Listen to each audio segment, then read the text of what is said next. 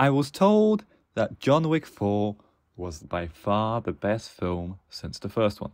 But is that really the case? Let's dive in, shall we?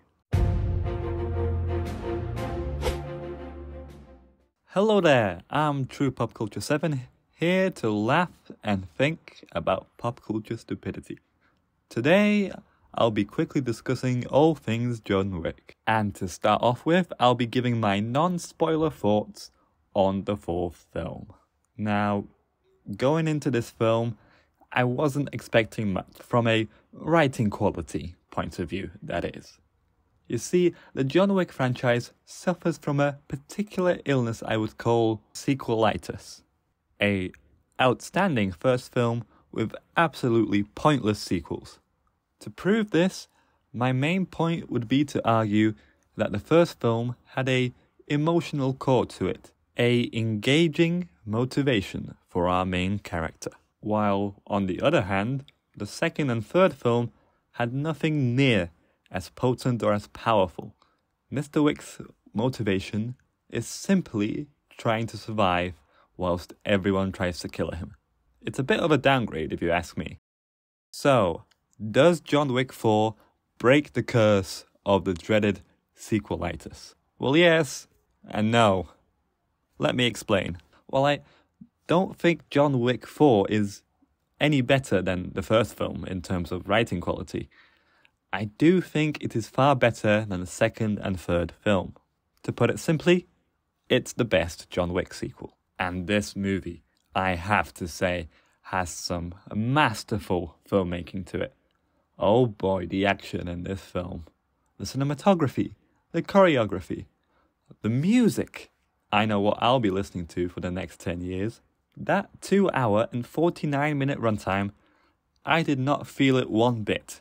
Not once did this film drag to me. And if I had to describe this film in one word, it would be fun. On a purely enjoyment level, I would give this film a 8.5 out of 10. Now, to get into some light spoilers so I can talk about some things that irritated me about the film. I've honestly lost count how many times John Wick gets hit by a car in here. Like, seriously, like maybe 10, 20. I, I've lost count. I've honestly lost count. Maybe it's the French drivers. Who knows? Unfortunately, you still have your bullshit bulletproof suits in here. And I think the film, or rather the franchise, that maybe shouldn't have been a franchise, yet again fails to recognize that raising the bounty on John Wick's head doesn't really raise the stakes after a certain amount of money. Everyone is going after Mr. Wick already with everything they have. What the Frenchman, the villain of the film, doesn't seem to understand is that John Wick is the number one highest bounty. He doesn't need to increase the price. At that point, he's just overspending.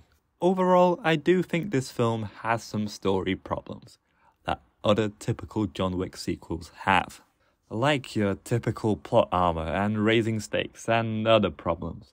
But in a way, these flaws are balanced out by some beautifully made set pieces and some action scenes that will make you grin like a kid in a toy store. But if I were to give this film a objective score, purely based on writing quality, perhaps it would be a, between a 6 or a 7 out of 10. But honestly, I'd easily recommend this film. It is a incredibly engaging and fun movie to watch, unlike the past five films I've seen in the cinema.